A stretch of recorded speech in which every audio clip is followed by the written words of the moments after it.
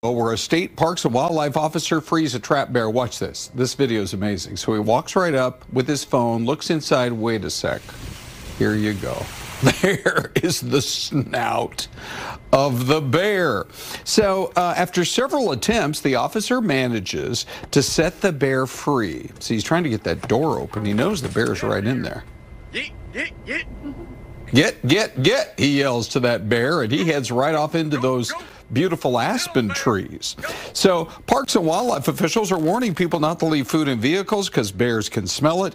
And, somewhat ominously, bears, in many cases, have learned how to open doors. And clearly that's what happened there. So, just like we saw a bear at a Safeway store up in the Prescott area and a bobcat on a roof in Mesa, you guys.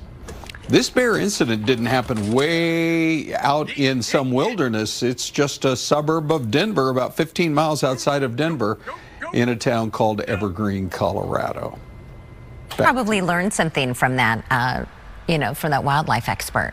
I, I'm surprised that he got that close to open the door. I would look for a giant Yeah. stick or No something, kidding. a cane to open the You see door. the slobber on the window? yeah, and I bet that car is trashed inside. Oh, it was. Oh, he kinds of damage. Ron, thank you. Oh. Alrighty, here we are in Evergreen. Got a bear that got into a trash can last night and then opened an unlocked vehicle and went inside to get dog food inside. So, we're gonna let him out.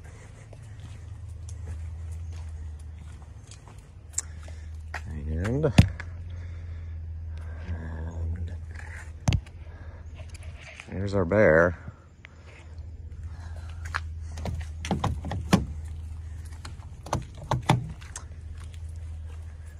Who uh, has the doors locked.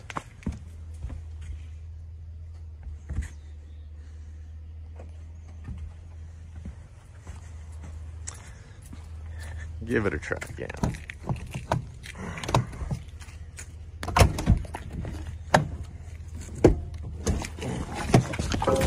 Get out of here! Get, get, get! Move! Go, go, go! Get on, bear! Go!